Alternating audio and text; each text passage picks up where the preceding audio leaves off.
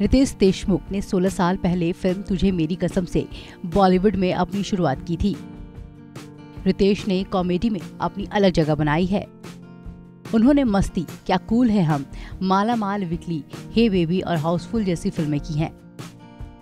बॉलीवुड में उनकी गिनती फैमिली मैन के तौर पर होती है।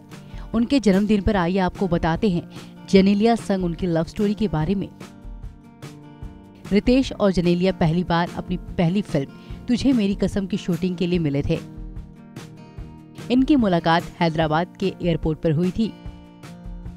रितेश को पहले ही बता दिया गया था कि उनकी हीरोइन उनका इंतज़ार कर रही होगी, लेकिन जब वो एयरपोर्ट पर पहुँचे तो जेनेलिया का रवैया देखकर हैरान रह गए। जेनेलिया को खबर थी कि ये हीरो मुख्यमंत्री का बेटा है।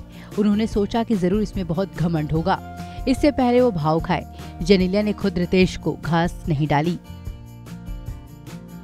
रितेश ने आगे बढ़कर जेनेलिया से हाथ मिलाया। जेनेलिया हाथ मिलाकर इधर उधर देखने लगी। रितेश को जनेलिया का पहली मुलाकात में इतना भाव खाना अच्छा नहीं लगा। लेकिन धीरे धीरे जब उनकी शूटिंग शुरू हुई तो जनेलिया को एहसास हुआ कि रितेश वाकई दिल के अच्छे हैं। दोनों के बीच दोस्ती बढ़ने लगी। सेट पर दोनों खूब बातें करते थे।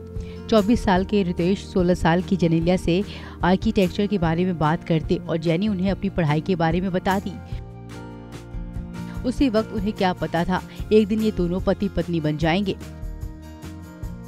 हैदराबाद में शूटिंग खत्म होने के बाद जब रितेश घर लौट आए तो उन्हें जनीला की कमी खलने लगी। वो उन्हें मिस करने लगे, लेकिन उन्हें लगा कि एक लड़की को इतनी जल्दी फ़ोन करना भी ठीक नहीं होगा।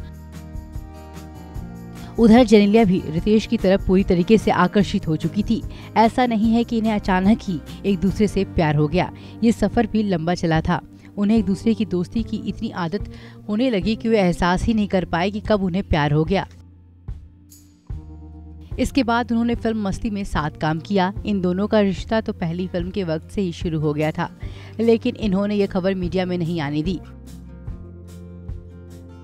इनके मुताबिक रिश्ते की खूबसूरती यही रही कि इन्होंने एक दूसरे को अपने प्यार में पागल करने के लिए कभी भी महँगे महँगे कैंडल लाइट डिनर या तोहफों की ज़रूरत नहीं पड़ी। इनके लिए एक दूसरे का प्यार ही सब कुछ था। जो बिन बोले समझ गया, आखिरकार 3 फरवरी 2012 में इन दोनों ने शादी कर ली। ताज्जुब की बात है कि शादी से पहले मीडिया में खुलकर इनके अफेयर की खबरें कभी नहीं आई। शादी के साथ ही महाराष्ट्र के पूर्व मुख्यमंत्री और रितेश के पिता विलास राव देशमुख का निधन हो गया। नवंबर 2014 में रितेश पहली बार पिता बने। जेनेलिया ने बेटे को जन्म दिया और अब इनकी ज़िंदगी उसी बेटे रियान के इर्द गिर्द घूमती है। ई ट्वेंटी ट्वेंटी की टीम की तरफ़ से रितेश देशमुख को जन्मदिन की ढेरों सारी शुभकामनाएँ।